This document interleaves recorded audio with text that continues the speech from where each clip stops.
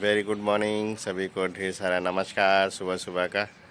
और सुबह के बज गए हैं साढ़े सात और हम हो गए थे तैयार ऑफ़िस के लिए। बस क्या है सुबह सुबह यहाँ फिर से चालू हो गई है ठंड। क्या ओले गिरे हैं चारों तरफ़ तो ओले की वजह से क्या है, ठंडा टेम्परेचर सुबह सुबह और दोपहर में यहाँ खूब गर्मी हो जाती है, शाम को ओले गिर जाते हैं, यही हिसाब किताब चल रहा है। आप लोगों की तरफ़ कैसा चल रहा है? तो चलिए, आज का ब्लॉग करते हैं स्टार्ट। तो गाय सुबह के बज गए हैं सात और ये देखिए, ओस की बूंदें जैसे जम जाती हैं ना, वैसे वैसे जम गई है घास के ऊपर। तो मैंने सोचा कि थोड़ा सा आपको दिखाऊँ तो वापस से एकदम ठंडा हो गया है यहाँ पर पूरा का पूरा माहौल। और जो चमक रही है ना, वो छोटी छोटी ये बर्फ़ के गोले गोले छोटे छोटे बन गए हैं गाइस तो चलिए धूप निकल आई है।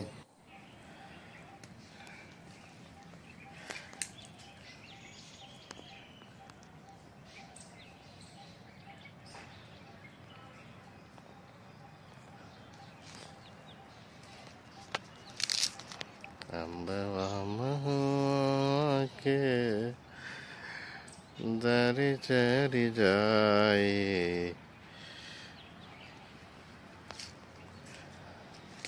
तो फाइनली गाइस हमारी चाय आ गई है। आत्र स्कूल गया और मैं भी अब चाय और ये आया हमारा टोस्ट आया टोस्ट आज लेके जा रहे हैं। कि थोड़ा तबीयत तबीयत इन लोगों की खराब चल रही थी कई दिनों से गाइस ना, इसीलिए कुछ ज़्यादा खास बना नहीं है। तो बस मैं ऑफ़िस निकलूँगा, बाकी ये लोग दिखाते रहेंगे बीच बीच में।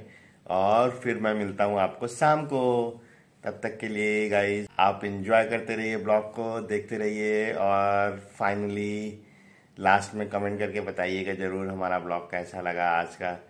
और थोड़ा सा और अच्छा करने की कोशिश करेंगे गाइस बहुत दिनों से क्या हमारा लॉन्ग ब्रेक हो गया लगभग एक महीने से ज़्यादा गया गाइस क्या तबीयत ठीक नहीं रही कभी कुछ कभी कुछ होता रहा है। इस वजह से हम आपसे मिल भी नहीं पाए।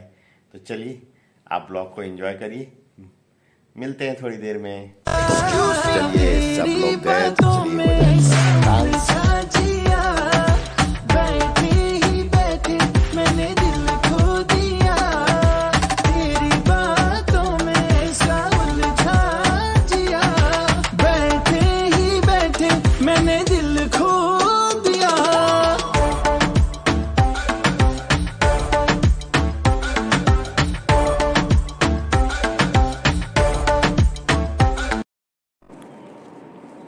तो भाई शाम को ऑफ़िस से लौट के आ गए थे और बज रहे थे पाँच और ज़ोर ज़ोर से हवाएँ, आंधी पानी चालू हो गया है यहाँ पे। और देखिए कितनी ज़्यादा इतना मतलब पेड़ देखिए एकदम जैसे लग रहा है ना कि मतलब फिका जाएँगे इस टाइप के हो रहे थे। जो हमारे बाँस लगे हैं ना, बाँस से इतने पत्ते उड़ उड़ के आने लगे सब कुछ। एकदम काली कटाई, ये देखिए, हवा का थ्रो देखिए कितना ज़्यादा तेज़ है।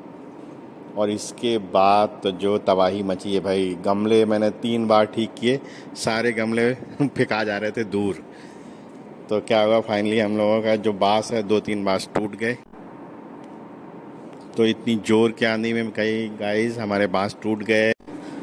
तो भाई बाँस तो गिर गए हैं, अब क्या किया जाए? माली भैया को फ़ोन किया जाए, एक ही रास्ता है कि माली भैया आएँगे तो थोड़ा फटाफट बाँस तार से हटा देंगे, नहीं तो क्या गाइस होगा क्या? कि तार भी इतना लोडेड हो जाएगा ना कि टूट सकता है और बिजली सप्लाई बंद हो जाएगी। तो फिर हो जाएगा बड़ा संकट, क्योंकि रात में मेंटेनेंस वाले भी जल्दी आते नहीं हैं अपने। तो चलिए, माली भैया को बुलाया जाए और देखिए कितनी काले बादल से गाई ये इतनी ज़ोर से बारिश आंधी पानी। मतलब बहुत दिनों बाद इतना ज़ोर ज़ोर से हुआ है। तो ये देखिए क्या हाल हो गया। ये हमारा बैम्बू गिर गया है, तार पे लटका हुआ है। तो भयानक तूफ़ान था, देखिए गमले उमले सारे गिरे हुए हैं। और बारिश हो रही है, आसपास में लग रहा है ओले गिरे हैं तो बहुत ठंडा हवा चल रहा है। और ये खूब घने बादल। तो एक बार मौसम ने फिर भोपाल में बदला है अपना करवट। गर्मी से आ गए हैं फिर से ठंडी में। बारिश पूरा एकदम चारों तरफ़ देखिए सब पत्ते पत्ते भर गए, क्या हालत कर दिया है।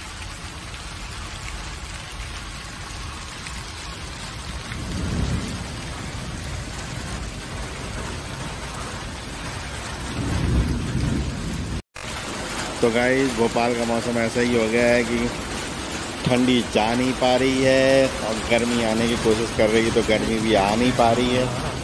और ये बीच में सौतन जो है, हमारी बारिश दोनों के बीच बीच में आ आके डेली। मौसम ही पूरा बदल देती है तो ठंड, ठंडी जाते जाते वापस आ जाती है। गर्मी की शुरुआत होते होते भी गर्मी वापस से दूर चली जाती है। तो चलिए गाई मौसम हो गया है साफ़। बारिश के बाद निकल आए हमारे चंदा मामा। तो चंदा मामा का इंजॉयमेंट के बाद देखिए, ये सुबह सुबह अगले दिन की वीडियो है फुटेज है गाइज़ ये देखिए, हमारे आलू की फ़सल को कितना भारी नुकसान हो गया है। क्या है कि मतलब पूरे के पौधे इधर से उधर मतलब सर्कुलर हवाएँ थी तो इस वजह से क्या नुकसान काफ़ी ज़्यादा की। स्ट्रेट वे रहती तो वन साइडेड हो जाता नहीं तो सर्कुलर में क्या पूरा का पूरा उखाड़ देती है गाइस तो चलिए, आज के ब्लॉग में बस इतना ही। मिलेंगे नेक्स्ट ब्लॉग में। तब तक के लिए नमस्कार। जय हिंद। अपना ख्याल रखिए।